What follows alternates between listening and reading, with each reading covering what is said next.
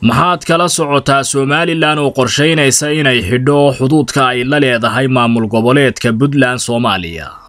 Maxay tahay sababta ka dambaysa inay somalilan u fiirsato isu socodka iyada iyo u dhexeeya maamulka garoowe?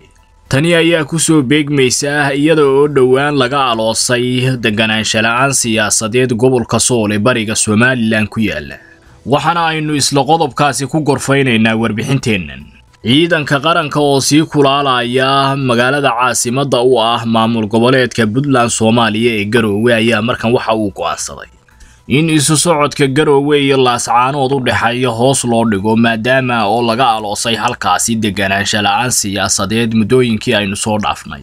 Tani ayaa jamhuuriyadda somalilan waxay u aragtay arrin muhiima oo salka u dhigaya nabadgelyada la doonayo inay ku naalloodaan dadka reer sool waxaana si weyn farta loogu fiiqayaa gacantogaalayn badani inay dhinaca ka imanayso oo ay tahay meesha keliya ee loo baahan yahay wakhtigan xaadirka ah in wax laga qabto. Tallaabada tan la rajaynayo inay somalilan qaado ayaa waxa ku jira laba faa'iido oo ay tan hore tahay. Shacabka reer laascaanood ayaa ka nasan doona haldoorkii iyo qori horaadkii la ugaadhsanayay oo si weyn loogu tuhunsan yahay maamul goboleedka puntland soomaaliya inuu ka dambeeyo waxaana guud ahaanba gobolka sool uu noqon doonaa mid deggan oo nabadgelyadiisa iyo xasiloonidiisa ay ku naalloonayaan shacabku.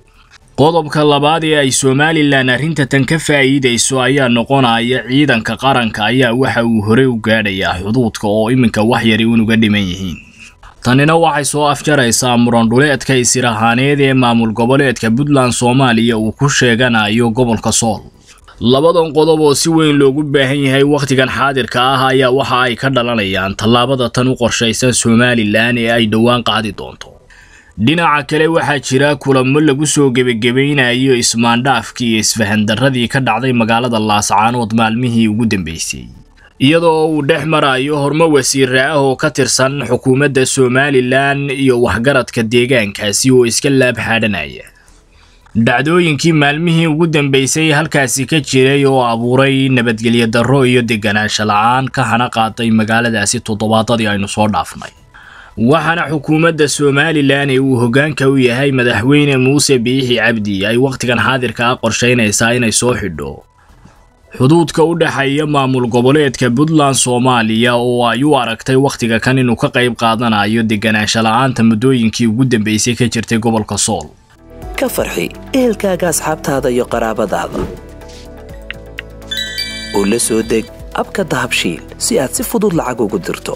Marka aad la soo degto ablicathonka dahabshiil ee aad lacag ka dirayso isticmaal koorka khadmad la'aanta ee tree free oo kuu sahlaya in saddexda jeer ee ugu horreeya ee aad lacag dirayso aan wax khadmad ah lagaa qaadin. Dahabshiil howlfudaydiyahaaga maaliyadeed